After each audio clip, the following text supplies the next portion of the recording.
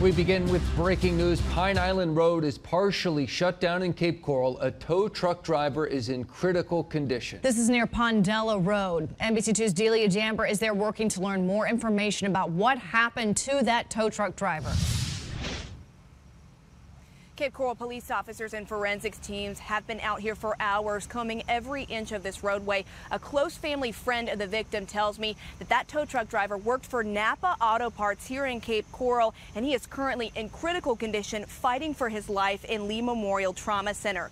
The victim's friend says the accident happened when the tow truck driver was hooking up a Chevy Silverado pickup truck you see here in our video. It's being towed away currently at the moment. The friend of the victim says police told them that that pickup truck could belong to someone who got arrested earlier today.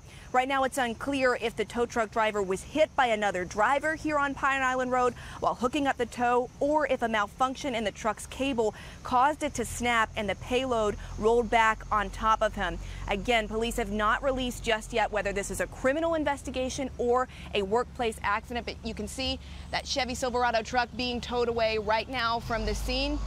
And I also want to show you these cones here on the road is where all westbound traffic is still being diverted into the North Point Shopping Plaza Center on Pine Island Road. So if you don't have to be in this area, police advise you to stay away if at all possible. I'm live in Cape Coral. Delia D'Ambra, NBC2.